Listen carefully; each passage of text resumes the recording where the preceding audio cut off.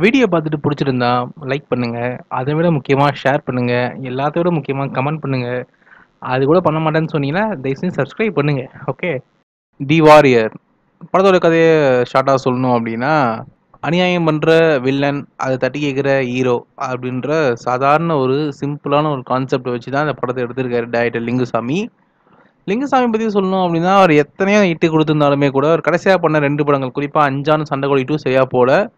அதனால வந்து தமிழில் வந்து அவருக்கு படம் வராதனால அப்படியே தெலுங்கு பக்கம் போய் வாரியர் படம் பண்ணியிருக்காரு.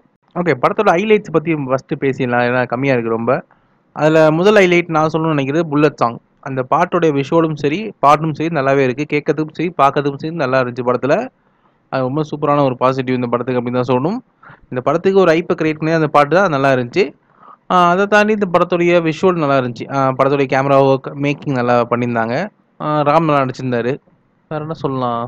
ஓகே படத்தோட நெகட்டிவ் சைடு பேசிடலாம். எயிட்டிஸ் நைன்டிஸில் வந்த படங்கள்லாம் நம்ம அடிக்கடி கேடிவியில் பார்ப்போம். அதில் சில போலீஸ் படங்களும் உண்டு. அந்த போலீஸ் படங்கள்லாம் வந்து ஹீரோ ஒருத்தர் இருப்பார் வில்லன் ஒருத்தர் இருப்பான். அவனை அடித்து உதச்சி எப்படி கடைசியில் வந்து ஹீரோ ஜெயிச்சார் அப்படின்ற நம்ம வழக்கமான படங்கள்லாம் பார்ப்போம்ல. அதே டைம்ல தான் இந்த படம் நவுறுது படத்துடைய மிகப்பெரிய பிரச்சனை அப்படின்னா அந்த படத்துடைய திரைக்கதையை தான் சொல்லணும்.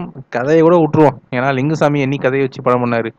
அவர் கதை எல்லாமே ஜெயிச்சிருக்காரு. பட் இந்த படத்தில் திரைக்கதை எங்கே அப்படின்றது சத்தியமாக தெரியவே இல்லை.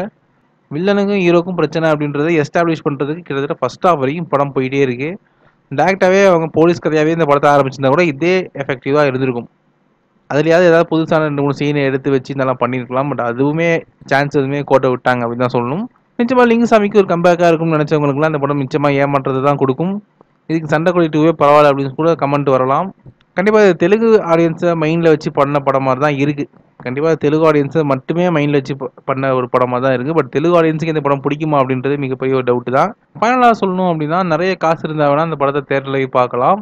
அது உங்களுடைய ஓன் ரிஸ்க் தான். பட் என்ன கேட்டிங்க அப்படின்னா ரொம்பவே பிலோ ஆவரேஜான ஒரு படம் இது.